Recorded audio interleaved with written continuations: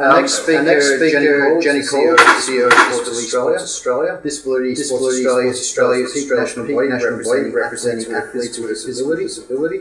Based in Sydney, Based New South Wales, DSA, national coordinating, coordinating body, single, single point of contact between partner organisation, e.g. ASC, ASC, APC, and NSOs, and state and state members, members such as Sports New South Wales.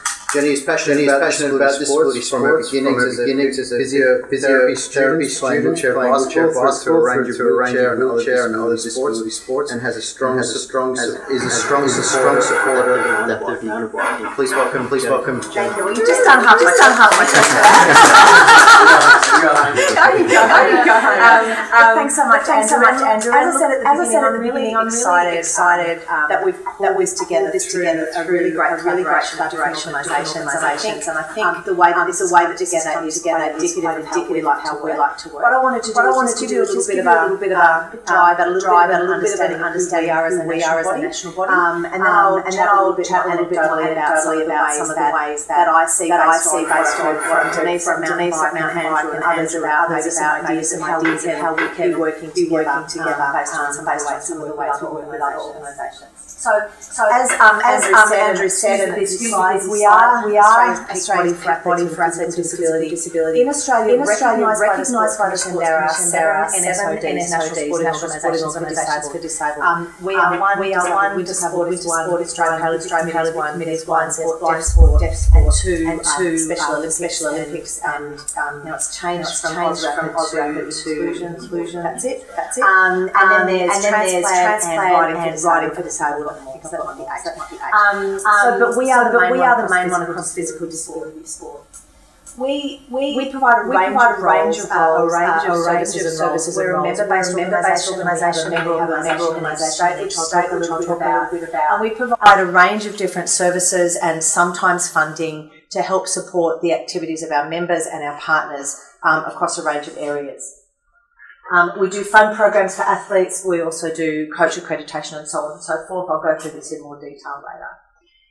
Really, the guts of what we do is captured in this slide. Our aim really is to see more Australians with a disability being more active and engaged in a wider range of sport and active recreation. As a, a physio student at the tender age of 19, um, working in a spinal unit, I was taken out um, to play wheelchair basketball, where we took patients from the spinal unit at Prince Henry out to play wheelchair basketball.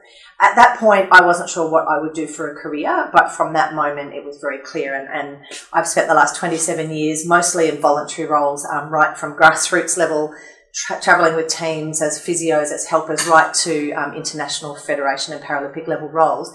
Because for me, this is it's the most exciting way as a physiotherapist um, that I can see to help change the lives of people who acquire a disability. And for those of you that do sport who have got a disability, you'll know what I'm talking about. Um, I saw patients going through the spinal unit thinking that um, really life was over. You know, I'm an active guy, I did all these different things, and suddenly what am I going to do? How am I going to, um, you know, get involved with sport? Can I drive? Can I do, you know, the kind of questions that come up. And when we took patients out to wheelchair basketball and they saw guys falling out of chairs and jumping back in and at one point, I got knocked out of my chair, pinned to the ground, and had my butt bitten in the middle of a basketball court by a para. Um, so you're seeing people living full lives and being able to do those skills you learn, you know, you teach patients floor to chair transfers in the spinal unit, and here are people just flicking back in and doing it. Um, you see people, I've seen people camping and climbing up into the backs of trucks, and the way that that kind of um, activity changes people's perspective on themselves and other people's perspective, and includes families. And for me, that's that that's that's so cool. And I'm a bit passionate about this. But one of the things that always worried me was that. Um, there was wheelchair basketball. It was really well developed, but really there's weren't a lot of other opportunities. There's really one or two wheelchair sports that you could do, or um, these were the offerings. There's this suite of offerings that you can do. But as an able-bodied person, I can do flamenco. I can do mountain. I could do mountain bike. I never have, but I could. I can ski. I can. I've got all of these different range of choices that suit me personally. And one of the things that we're passionate about at Disability Sports Australia is where, as much as we can, partnering with others, increase the range of choices and opportunities that there are. So the adaptive mountain bike thing, when Andrew came to me with that, even though it's nothing to do with anything we've ever done before, what was exciting for me is that this is it's it's new, it's innovative, and it's a way that um, another option for people with a disability um, to be able to get out and experience active recreation and sport in a really unique way. And so that's why we were really keen to partner with that. Um, we want people to have a range of choices. Um, who are we talking about? Just to get a bit of a snapshot, and I use some of these stats. There's a range more, a lot more out there, but these stats I use to just kind of give people an idea of the scope of who we work with. In Australia, um, based on Australian Bureau of Statistics, there are more than 1 million people in Australia who have a physical disability with a moderate to severe activity limitation, which means that if you have a moderate to severe activity limitation, it's going to be hard for you to get involved in mainstream sport. Andrew showed you the inclusion spectrum. Um, you know, non-modified sports, slight modifications. Whether you have a moderate to severe activity limitations, you're starting to get into needing different equipment or um, an adaptive version of the sport mostly. Um, so that's they're the group that we work with, and yet our member organisations in each state cater for six thousand of those people, mainly wheelchair users. So for us, there's a big scope um, of people that are either not engaged or that we don't know about how they're engaged, and we want to work more with all of them. Every 15 hours, a child's born with cerebral palsy in Australia. This is not a statistics that's decreasing; it's increasing because children are surviving things. Um, uh, you know, they're surviving premature birth, they're surviving a whole bunch of things that happen in utero. In Australia, between 0 and 14 years of age, there's more than 150,000 kids with a physical disability or brain injury, with, and, and more than half of those have a moderate to severe activity limitation. We're talking about a lot of people.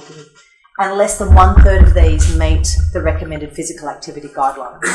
Okay, so what we also know is from a range of different um, research papers is that between 85 and 95% of those people tested actually want to be more active, whether they're engaged or not. They either want to get involved or want to get more involved.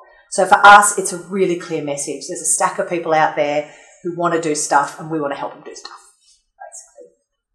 I'm not going to go through too much on this. We have a few different roles. We're a peak body, obviously, but we're also the national sporting governing body responsible for wheelchair rugby, wheelchair Aussie rules football, which we've just launched this year, which we're super excited about. Um, wheelchair basketball, even though Basketball Australia look after the national team and national league, we still have responsibility for the sport a, from an international perspective, and our state member organisations are the ones that introduce people to the sport and provide the pathways through to state level and to national level. Um, lawn bowls, um, it's mainstreamed a bit in Victoria, but at a national level, it's still us. Power chair football, power chair hockey, and a range of others that, through our peak body um, responsibility, we have responsibility for those. We also run between four and six national level events a year in wheelchair rugby, um, wheelchair Aussie rules, and lawn bowls mainly. I've summarised this. This is, we have 2.8 full-time equivalent staff. We receive a tiny amount of funding from the federal government, and none of that is for our sport programs. So everything we do, we have to find partnerships or funding to be able to do. We don't get one single cent for wheelchair rugby, um, despite the fact that we run the entire sport apart from the national team. So basically, it's a role that's growing, and we are involved with advocacy, federal government, with corporations, with um, the NDIS, with a whole bunch of other organisations. Um, certification and development of officials in a range of sports, information through our website, social media, and a range of others. And if we get time at the end, I'll just quickly show you some of those things on our website. Um, expertise, what, because of our expert experience in disability sport and that of our state organisations, one of the things that we find really powerful is that uh, an able bodied sporting organisation may be really keen to provide opportunities for people with a disability, but don't know how. And it's sometimes too hard. You know, they get this great idea, but it's just too hard to do it.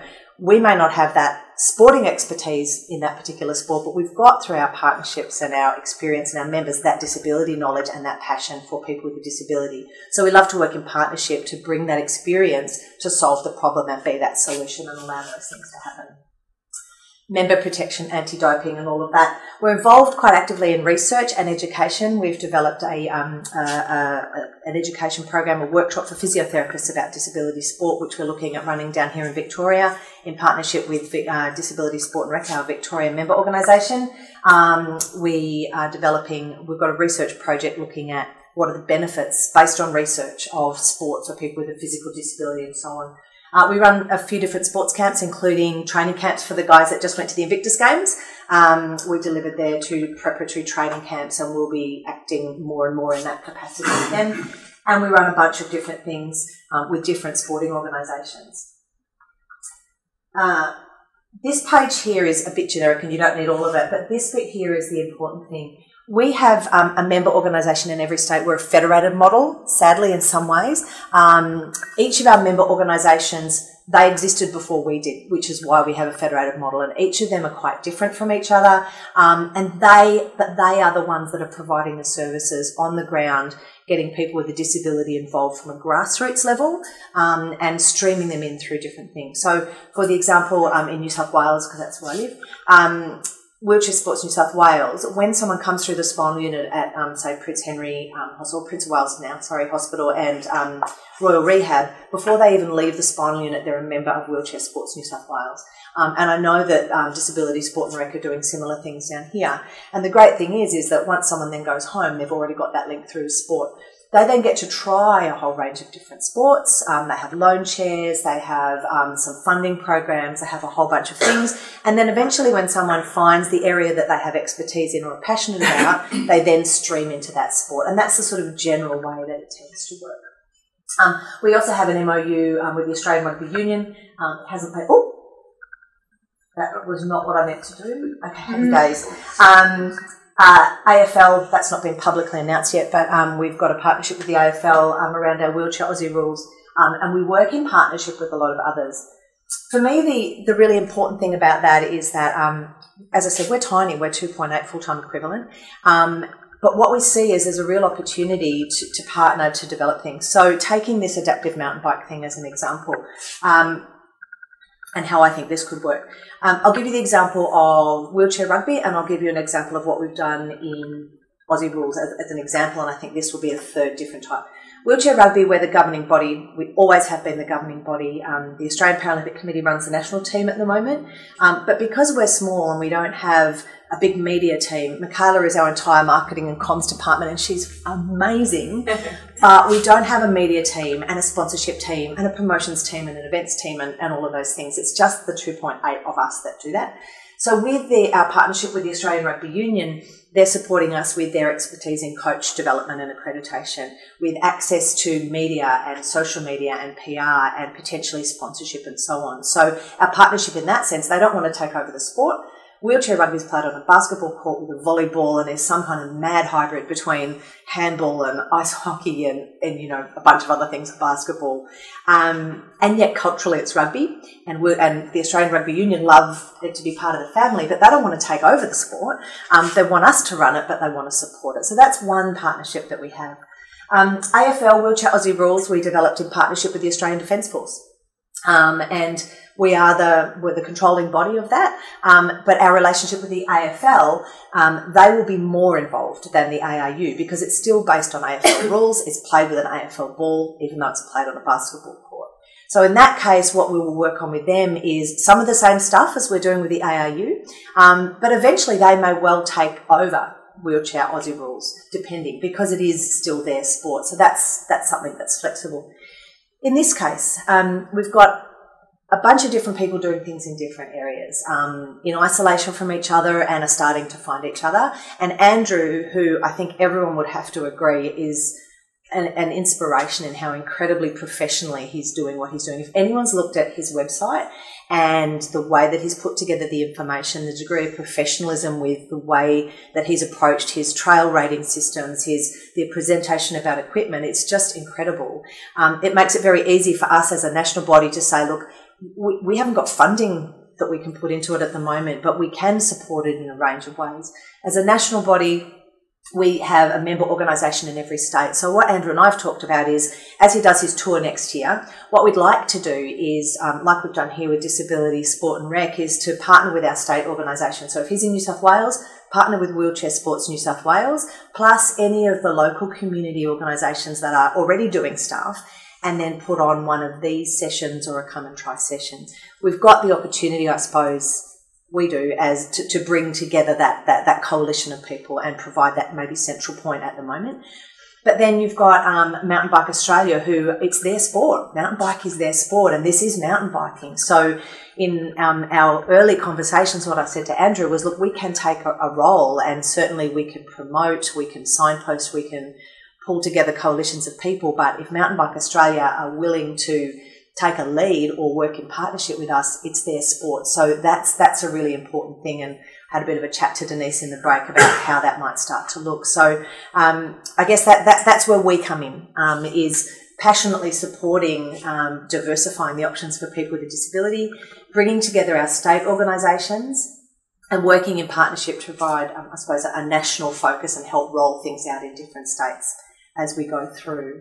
Um, Mikhaila, do you think we might just be able to quickly have a look at our website just for one minute, just so that for those of you that um, what we want to do on our website, and we haven't, um, we've just launched our new website earlier this year.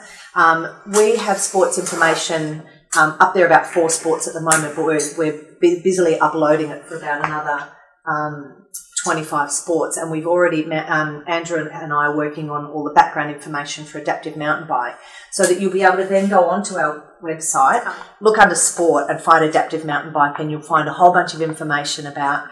Uh, this is it here um, so you'll be able to click on sports or here.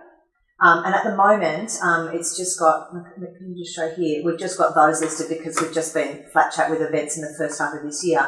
But you'll be able to look up adaptive mountain bike.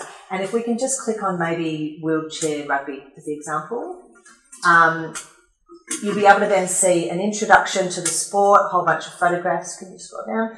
Um, a bit about how you play, a bit about the rules, um, who, who's eligible, um, in this case, because it's a Paralympic sport, there's a bunch on classification. Um, really quickly talk through that. Uh, sorry, that's long. Um, and then how do I get involved? Um, and so, what we would want to do with adaptive mountain bike, for example, is list in each state who are the main contacts. So that's something that would be really great. We also have an event page. Oh, oh, my! Sorry for everyone who's watching the live screen. You did not need to see me and in that bigger relief. it also lists for each board any upcoming events that are relevant to it. And then we also have an events section um, as well. Um, so if you have an event that you're running for adaptive mountain bike or any other sport for that matter, you can go on and register your event as well, um, and then that will appear when people search for that um, as well So we can do that. Um, we'll also start to include things on adaptive mountain bike in our newsletter, so you can register to receive our newsletter, and you can also like us on Facebook as well. So there's a range of different ways that. Oh, look, there yeah.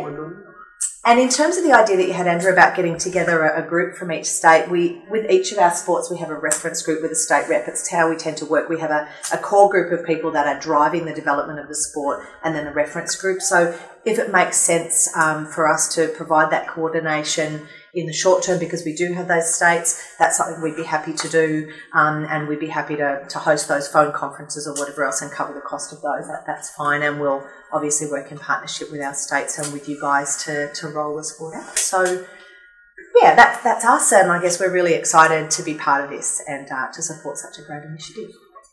Thank you. I'm sorry, live streamers. Thank you.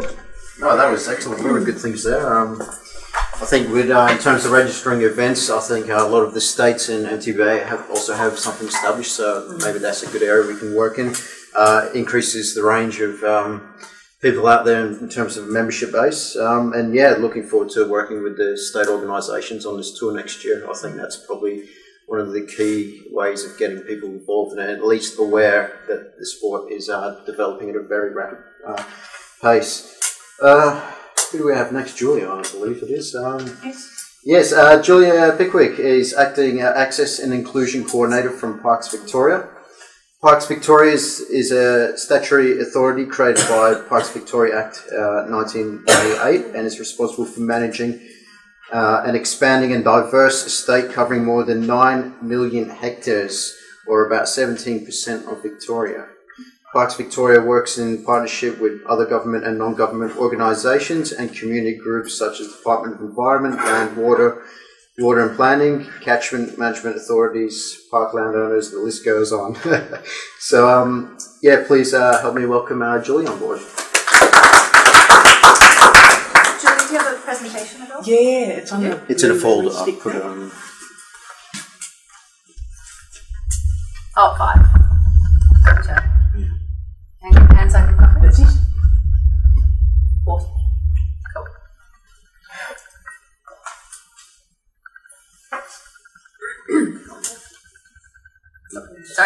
Ah, beautiful. Okay, so thank you for that wonderful introduction, and you've saved me a couple of minutes in my presentation because you've already covered a lot of the, the, the information. I'm coming, from, I guess, I'm coming from a slightly different angle with um, my presentation. I just wanted to talk to you about the organisation as a whole for Parks Victoria because a couple of years ago I was managing some small grants that were designed to introduce people to our parks and get people actively involved in our parks.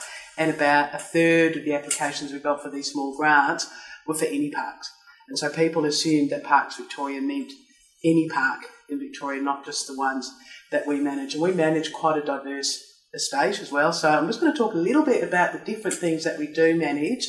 And then I'm going to talk about the different initiatives that Parks Victoria has actually introduced over the years to actually increase accessibility for everyone. I just wanted to start though just with our Healthy Parks, Healthy People because it is the Parks Victoria philosophy and Parks Victoria understands that actually connecting with the outdoors, connecting with the natural environment, how important that is, not just for your physical well-being but also for your emotional and your spiritual and your mental well-being as well. So it's a really, really important thing for us, and this is why we're working really hard to get as many people as possible actively involved in our parks.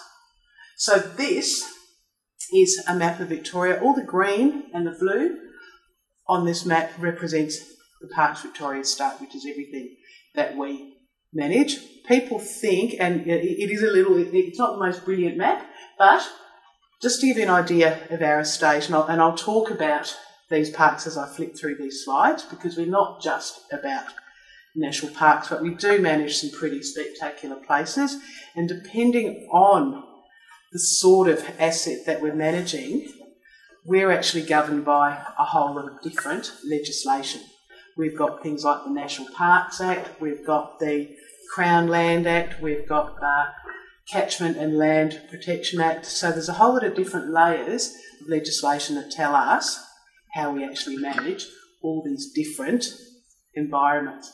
With um, our marine national parks, back in 2002, Parks Victoria became the first place in the whole world to actually establish marine national parks because what a lot of people don't realise is that down here in Victoria, the biodiversity in our coastal regions is higher than the Great Barrier Reef, and nine out of ten marine species down here are found nowhere else in the world. So our marine environments are just incredible, which is why we've established these marine national parks. We have wilderness areas as well. If anyone ever gets an opportunity to get out to Big Desert, out in northwestern Victoria, it's absolutely spectacular. And in Victoria, we're really lucky because for such a tiny, tiny little state, we have such a diverse range of scenery. We have some of the best surf beaches in the world. We've got the snow, we've got the desert country, we've got box ironbark forest, all sorts of different rural environments, but we also have areas that we manage in metropolitan Melbourne as well. We have our regional parks, reservoir parks, we manage quite a few of those as well. We also have, we, we manage over 11,000 Indigenous heritage sites as well. And then there's the non Indigenous historic sites that we manage as well. And these include historic homesteads and places like that as well. William Ricketts Sanctuary is beautiful for those of you who've come from the interstate, if you get a chance to get out there. Up in the Dandenongs, it's a day trip from here and it's absolutely beautiful. We also manage our bays and our piers and our waterways as well, including the Yarra River. So it's a really, really big, really diverse amount of assets and parks that we manage.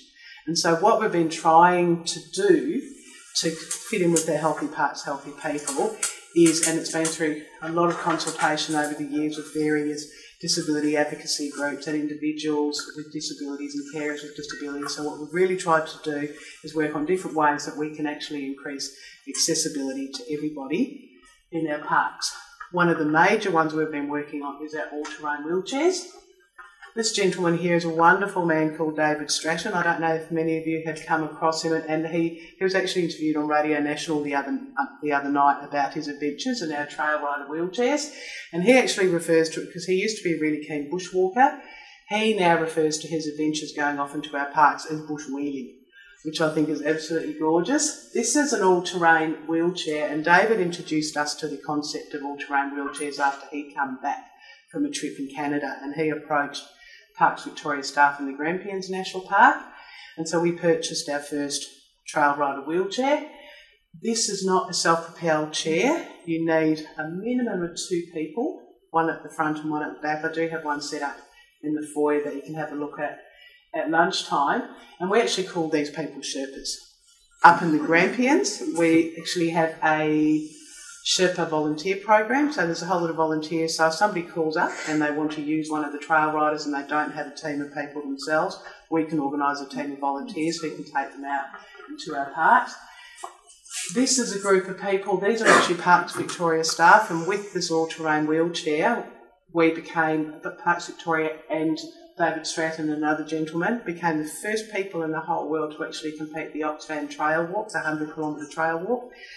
The first wheelchair users that were able to complete that walk, and we had four teams of four Sherpas that helped them complete that walk. This is one of the training sessions, and you can see the chappie at the front here. There's actually a little cord that can help pull that chair as well. Normally, we suggest having one person at the front and one person at the back and this is the finish line. So this was a world first for us, which was fantastic.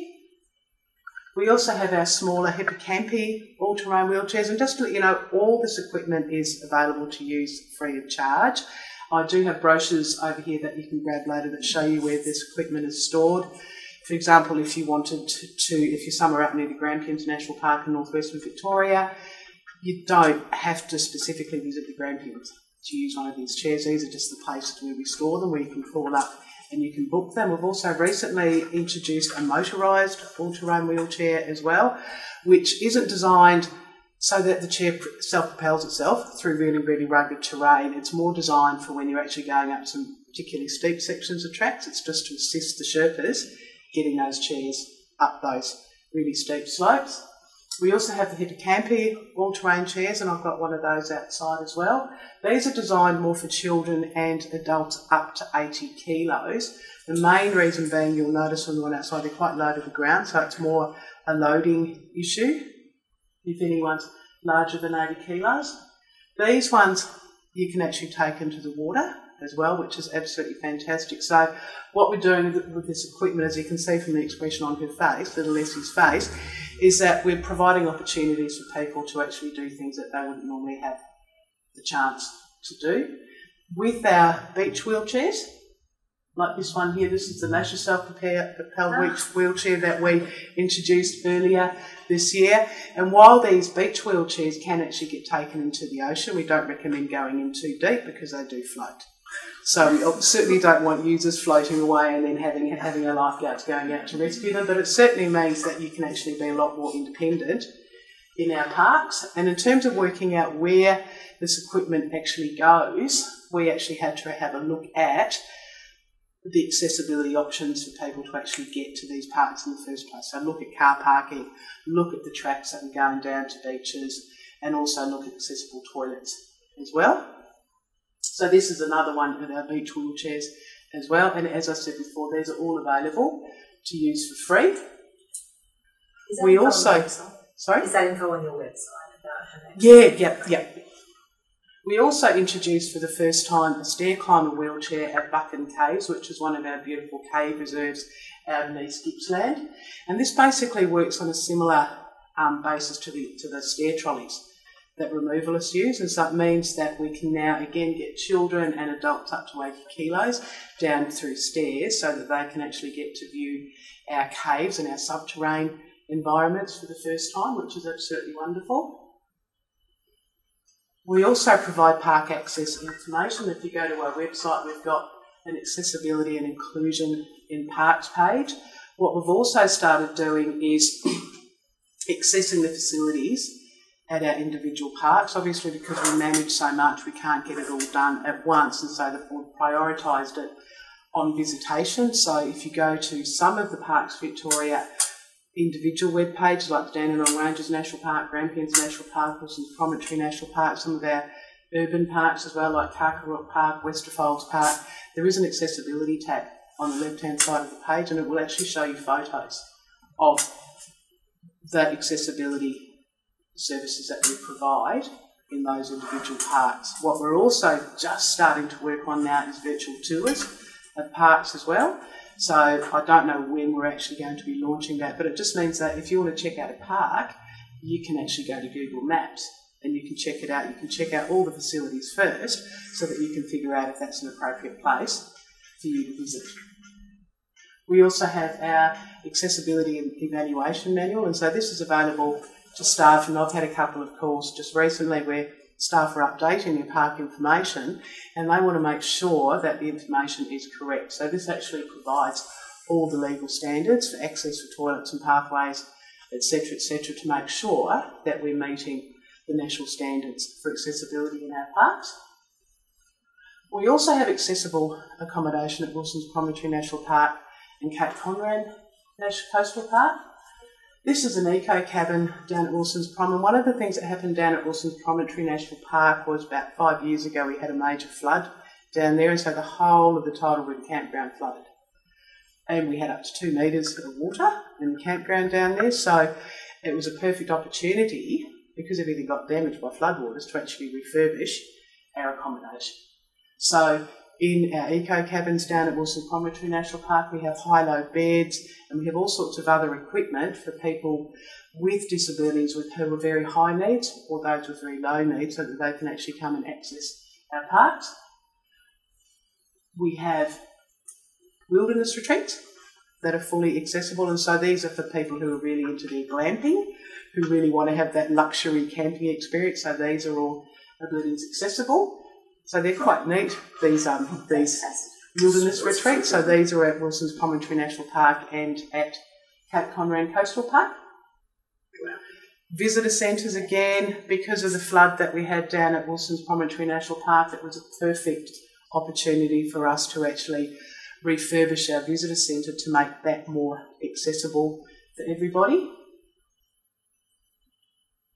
We've also put in more boardwalks as well, again at Wilson Promontory National Park, because we had the boardwalk that went through the wetlands on Tidal River down there. It was a perfect opportunity to actually put in all abilities accessible fishing platforms and also make sure that all the signage that we had along that fishing platform as well was actually at a level where you could read it from the wheelchair rather than having to crane your neck up to actually look at all the signage as well. And so we've got all our boardwalks in our parks. We have viewing platforms that are all abilities viewing platforms so that they're able, people are actually able to get out and have a look at some of the stunning scenery that we have in our parks in Victoria. We're just a new one that we're starting as canoe launches. This is at um, Kings Billabong up near Mildura, and we're just about to launch one down at Patterson River as well, down in the southeastern suburbs of Melbourne.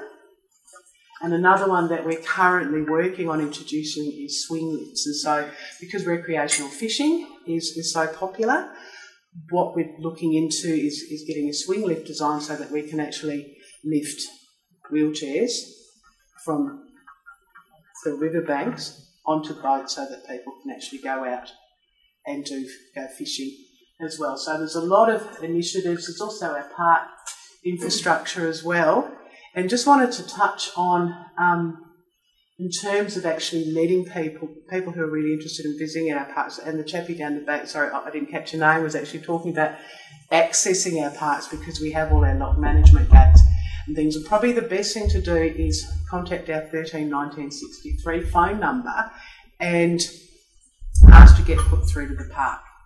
And then you can organise to actually get a key most parks will actually sign in, sign out, and you put down a $50 deposit or whatever you for your key, you get it back when you return your key, which means that you'll be able to access those parks. From someone who's worked out at Wilson's Prom and has also worked in the Dandenong Ranges National Park, and the Dandenong Ranges National Park visitation there is about three and a half million people a year. So very small park, lots and lots of people there. So part of the reason why we have this lock gate policy is to keep people safe. About 90% of what we do both at Wilson's Promontory National Park and at the Dandenong Ranges National Park is managing people. And it's making sure, primarily making sure that people are safe. And so actually calling up and letting park staff know, getting to know the park staff as well is a really, really good idea if you want to start accessing our parks. And it also means that we know where you are if something happens. Campbell was talking about his overnight hike down at Wilson's Prom, and one of the things that we have in place with overnight hikes in our parks is a booking system and a permit system. And the reason why we have that, and again going back to the flood that we had at Wilson's Promontory, because we had a, the main road, the bridge got washed out in the main road, people couldn't drive out. And so, and we had people at all our remote um, overnight camping spots as well. And so we had to evacuate over 250 people by helicopter. And it ended up being one of the biggest air evacuations in Australia's history when we get when we're getting people out of the problem. And so and we ended up I think with about 120 people who were at our outstations. And because we had the booking system, we knew exactly who was in at all those different locations. And so when helicopters were going in to do the rescues, we knew exactly how many people had to get picked up each spot. And I'm not suggesting that you're going to have to contend with something like that every time you go to one of our parks, but this is why we have these processes in place, is to keep, is to keep you safe and make sure that we know where people are. We did have a couple of guys that turned up for an overnight hike that they'd booked, but they booked up, they rocked up at 11 o'clock on a 38 degree day with two litres of water each, and they wanted to do a 40 kilometre hike. And because you actually have to pick up your hiking permit before you go, we could actually say, look, really not a good idea because you've left it so late in the day to do a 40k hike, 20k hike when you've got two litres of water. And so we had to help them modify their plans. So, really, a lot of how we manage our parks is people management and it's about keeping people safe. We also have, just the last one, because I'm, I'm a big kid myself, we also have this fantastic all abilities accessible playgrounds as well. And this one here, Brimbank Park, which is in northwest of Melbourne, about 15 k's from the city centre. This is actually designed for all abilities. So, so there's all sorts of stuff in here for children and people who are vision impaired and also um, hearing impaired as well as mobility impaired as well. So this is what Parks Victoria has, has been working on and we would love to have more people coming into our parks and organising events. I have bought some information about organising and planning events and that's why I talked to you about the range of parks and assets that we manage because depending on where you actually want to run your event, we'll certainly depend. That's what will happen when you put a new event application. One, if you do want to hold events in our parks, do your research first. Get in contact with the local park staff because they'll be able to give you the best advice on the best tracks to use in that particular park. Get maps, work out your routes, all that sort of stuff before you put a new event application because it takes about eight weeks for your application to be processed. So there's information there about the, the event application process. There's also forms so that you know what the application form is all about. There's also a flyer about where all our accessibility equipment is, and it is all free to use. And I just wanted to finish on a really lovely story of um, a dear friend of mine who had advanced MS, and she had spent a lot of her life monitoring malleefowl up in northwestern Victoria, an endangered bird. And as her MS advanced, she became more and more mobility impaired and she ended up being a wheelchair user.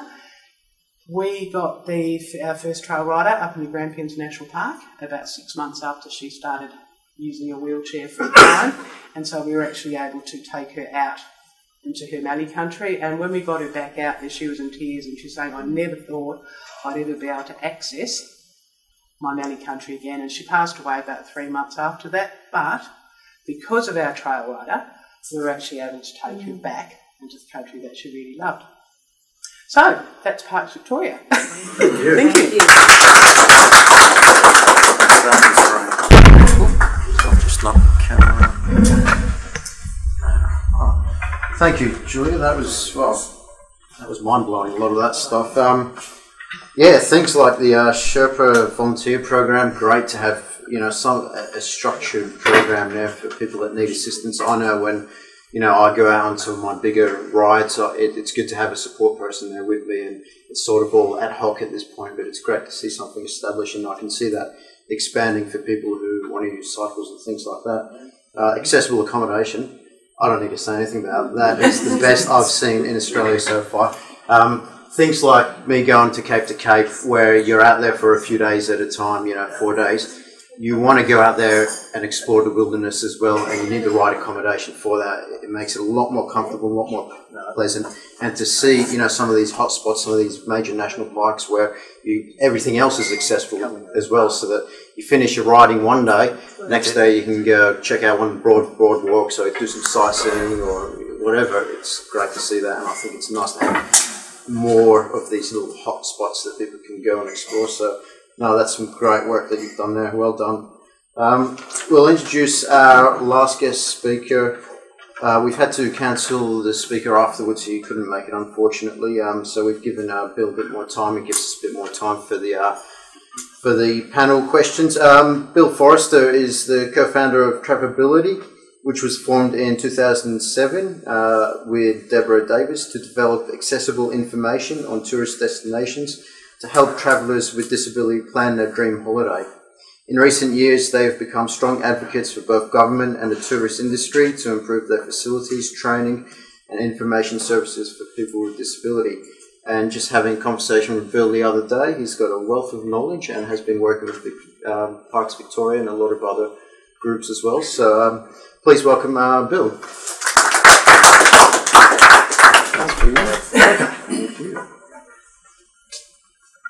Thank you. It's great to be here, and it's. I love to see more inclusive activities that aren't just, with all due deference to the wheelchair basketballers, wheelchair basketball.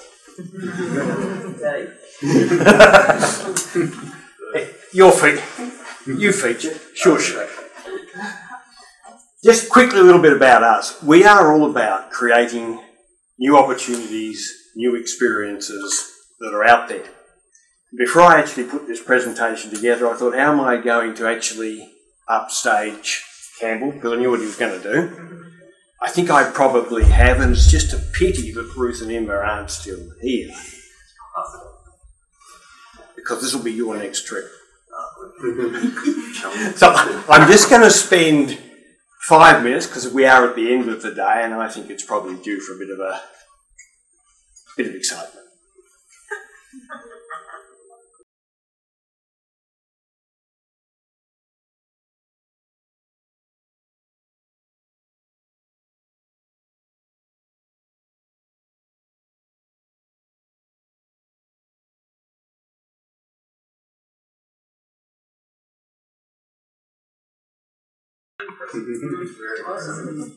Now, why did I show you that?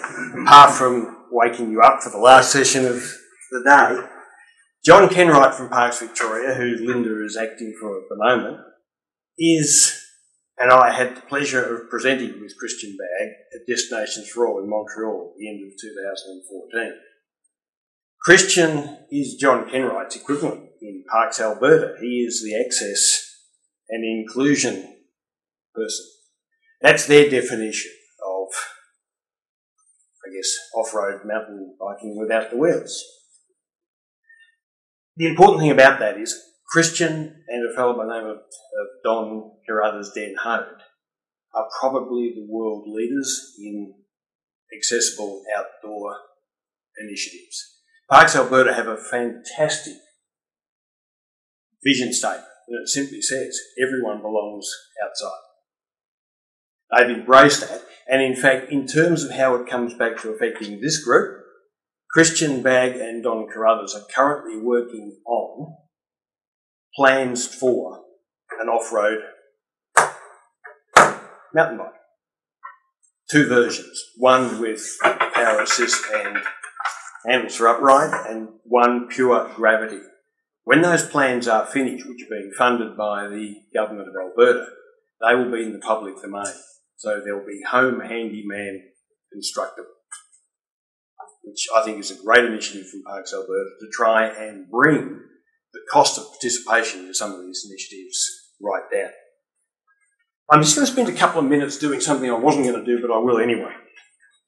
Because I think it's important to have this group not only participating in sports, but also become really strong advocates to change perceptions generally. Because I've got my famous ability graph. And I think we all need to really understand this very carefully. When we talk about disability, someone in the medical profession has drawn an arbitrary line down here. When the general public thinks about people with disability, they seem to have a line that is drawn way down here with this sort of perception. Part of the issues in getting the penetration we need through the tourism industry, through national parks associations and everything else, is to change that perception. Now let me just go the other one. We know that we've got what I call continuum of ability from this level right up to the extreme level. So there is no two people in the world alike. The funny thing about it is the tourism industry in particular is very well adept. I should lose the little. Where's the, where's the bottom? Right there, it's. Oh, that one there. Up here, does anyone know, for instance, how many, what the staff to client ratio is for a climbing expedition in Nepal? And I'm not talking about Everest. I'm just talking about a normal climbing expedition. Depends on the height. At 6,000 metres, it's 11 to 1. 7,000 metres is 25 to 1. On Everest, it's 40 to 1. So we've got an industry that is very well adept at actually providing really high level support. What it's not putting its mind to is the needs and opportunities that exist within the active disability sector. That's something we need to change. That's something that ESR, something that you, Jenni, have really got to work hard on within the tourism industry. We need to take it away from just being disability support into actually commercialisation. Why is that important? I'm digressing a little bit. These are figures that came out of Visit England. I'm not going to go, I'm not going to labour them like I normally do. A couple of really interesting statistics though. In the day trip market, which is a lot of parks visitation, all the stuff we're talking about, 20% of the total tourism market in 2014 in England was people with disability and their friends. On the overnight market, it's 14%. And look at the growth between 2009 and 2014 33% in accessible tourism, only 19% in general tourism. This is a big thing. This is what we need to keep driving and pushing to change the money. I won't go, I won't go that way. And when that happens, what we start to do is get that innovation that people like Christian Bagg are working on generally. So all the support facilities you need, like toilets, paths, and the rest of it, start becoming second nature because people are starting to cater for the whole thing. Because currently we have a habit of starting here, calling the access auditors at the point where it's too late. To help that, Parks Vic sort of started on it and they underplayed something. To me, this is one of the most important documents that Parks Victoria have produced. We helped them write it.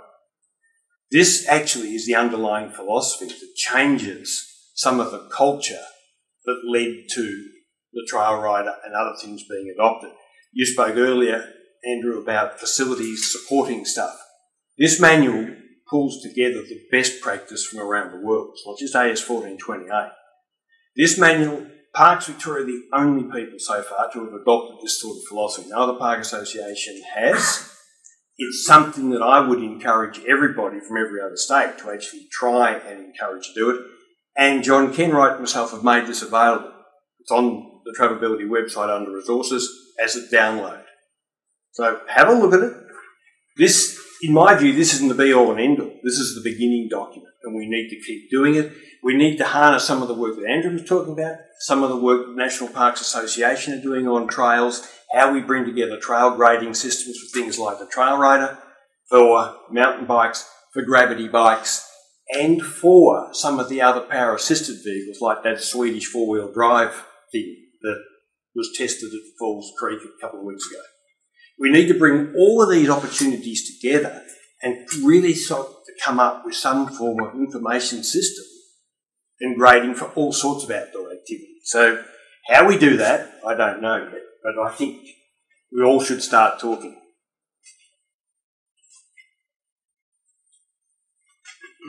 The critical things, obviously, here, we've already spoken about, is all the various supporting facilities, but in particular, the continuous paths of access. It's no good having a car parking spot. It's no good having a toilet over there. It's no good having a trailhead up there if you've got a chasm between them or soft sand or whatever else. It's bringing all the facilities up to speed to make all of the activities easy and usable. I just want to take a minute to go through some of the stuff that's coming out of pointing at here. We all know about that, and if you don't know the David Stratton story, there is a video. Have a look on YouTube and look up Wild Places. You'll need a box of tissues, I can tell you. It's a, mm-hmm. it is a tear-jerking story, but it is a fabulous five-minute video. It's called Wild Places. It'll be on the Parks Victoria tab on YouTube. So the Tri Riders won. That's a non-active. Canoeing is becoming really big in America and in that. There is a plethora now of cheap add-ons and cheap back supports to make canoeing really, really accessible. We've already seen the self-propelled wheelchairs, which give another level of independence. That is the Wilson's Promontory chair. From that was from the inaugural Giant Odyssey, wasn't it? That one. It was, yes. Mm-hmm. You, do you feature in that one? Oh, must be somewhere. I think you were. You were Brian Smithy. I'm too far in front. You're too far in front. Another great, another really good one for the sporting bodies around here. I love this sport. It started in America five years ago with five guys. It's now up to a national competition of 5,000 people. The beauty of it here, this was actually done down at, um, what do they call that thing, the YMCA place on the Yarra? Riverslide. Yeah, done at Riverslide. The beauty of this one is it's an inclusive sport. So you'll get the guys in the chairs, you'll get people on their skateboards, and you get the people on the scooters all shredding together it is it's not separating people and this is a this is one that we really should be promoting as a sport in Australia to get the young people really engrossed and involved and active. That one's been around for a while, but that's we've had um, we had four guys I think this year went to California. They did very well in the worlds. Fastest growing sport in America outside that is now the adaptive rock climbing. This one's obviously taken in a gym, but the number of equipment that's now available. What we need, of course, is more outfitters to start buying this sort of equipment in places like the Grampians to actually start running this sort of program. How can we help in all this? I guess a lot of people don't know. We've, I've made a mistake, I think, in the past of being a very good advocate for inclusive tourism without actually selling the fact that we are Australia's premier travel agency for people with a disability. We've got a skill set really that I don't think can be matched today. I've been at this for 10 or so years. So we can do everything from equipment hire, flights, accommodation. We have a network probably second to none without sort of sound like I'm bragging. Our destinations might surprise you. Now, obviously, we do the USA and Canada, you, everybody would. Mexico is surprisingly accessible. Some of the old ruins. The UK is probably the world leader in accessible tourism per se. But you've got places like the Catalonia region of Spain that have made it a national priority to become accessible. And you can do any sort of activity there, from sailing, sit skiing, anything. Israel and Jordan, believe it or not. Africa. Now, does everyone know about Indaba? Indaba is the national tourism conference. You get 16,000 people turn up at Indaba every year. They've now got a separate wing in their tourism suppliers conference that is purely for accessibility. So you can go on safari in Botswana, you can go on safari in Kruger or on the Shislui. You've got diving in Mozambique, and I'm pinching the next slide. Um, Cambodia, Costa Rica, Ecuador. You can do Amazon, you can do the Galapagos. And New Zealand is starting to get into see more adventurous activities. Wheelchair bungee jumping.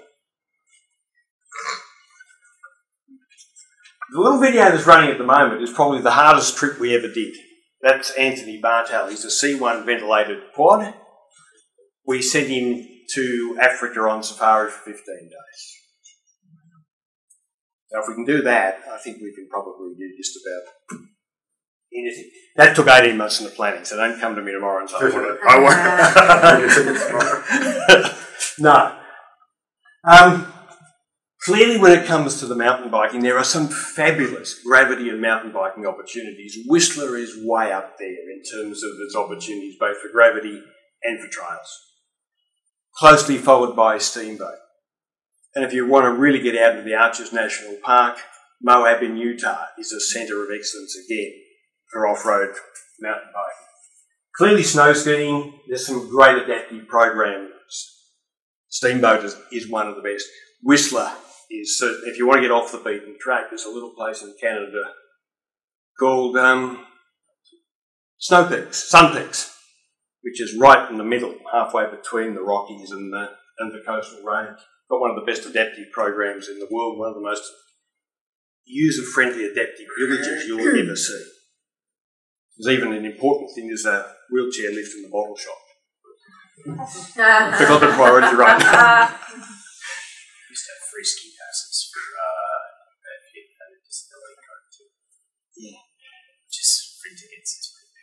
Yeah, I know. Um, Sun Peaks is a fabulous spot. Um, some unusual places. This is some of the best diving in the world off Mozambique. Fully accessible diving resort that goes and goes out with the coral and the whales. Um, climbing all over North America. I've already talked about safari. For those who remember, the Lord Nelson was out here in the summer of 2012, 2013. That's the fully adaptive tall ship. Its sister ship, which was built 15 years later and is about 15 metres longer and is better equipped, Tenacious, arrives in Sydney at the end of August for this year. There are 19,000, 1900, sorry, berths available for the sailing program that varies from one day sails right through to, I think the longest is a 23 day sail. That's this summer if anyone's interested in a really different experience. Was actually talking to them yesterday about how we how we start promoting them. And some unusual I've already talked about the Amazon, the Galapagos, but Nepal is now starting to come up with a whole heap of new opportunities. So it's happening in places you may not expect. Whoops. I'm going to give a little plug for myself and all the rest. All the advocacy work we do, everything, because we're not a non, we're not a not-for-profit, we're not a funded body, we're not anything else. We fund all that ourselves out of our commercial travel operations. What we do do for groups, sporting clubs, associations, all the rest of it, we give 10% of the commission we make on those trips back to sporting groups if they register. And that's really to encourage clubs to get their sponsors and other people to travel with us as well. Because we're a travel agency. That we make money, we're prepared to give some back to you, and it's an ongoing thing to fund our whole our whole, our whole operation. In terms of lagging. In terms of our affiliation, part of the reason we, we have got the network we've got, we belong to two very powerful organisations. ENAT, which is the European Network of Accessible Tourism, and SATH, which is the American Society for Accessible Tourism Hospitality. So by that, we have got networks all over the world to make virtually anything you want to do happen. The final thing I'm going to say is one of the frustrations we had about four years ago is I could go and preach to tourism organisations, I go and preach to a lot of people about accessible tourism, and there wasn't any imagery. All the imagery people were using were typical hospital chairs, sort of, they were either pity invoking or inspirational, none of which was what I would call true real life thing. For those of you who don't know, we started photo ability, and the cards are up the front here, about four years ago. It was the world's first commercial stock image library dedicated to real people with a disability. So you'll find no fake imagery. What we need from you guys, and I know there are certain issues with certain contracts with some Olympic sports and Paralympic sports, but spread the word. Spread the word to your photographers. It's a commercial stock image library. You've got people out there taking pictures. We would love to have them added to the library. No obligation. Photo ability. Photo ability. We'd love them because what that does is gives me more fuel to the fire. It gives the media and other people a chance to actually start presenting disability activities as they really are. Real people doing real things. And I think we'll probably get some real change. And that's it from me.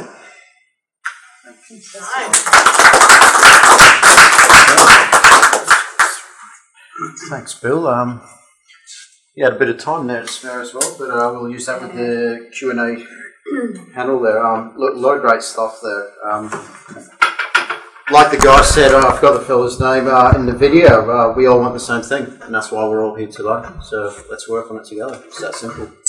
Um, I really like the idea of the self-building of hand cycles. Uh, of course, cost is a really big thing, and uh, me personally, I love building things and seeing final product and actually being able to use it myself. Um, I think that's a really great way of cutting costs down for people and getting more equipment out there, and therefore more people riding.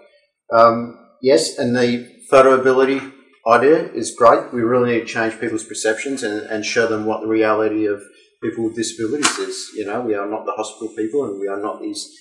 We are not all these extreme athletes that do wonderful, amazing things. There's a massive spectrum in between, which is the majority of us. And I think once we do start changing these perceptions, uh, people will will buy into what it is that we're trying to sell to them.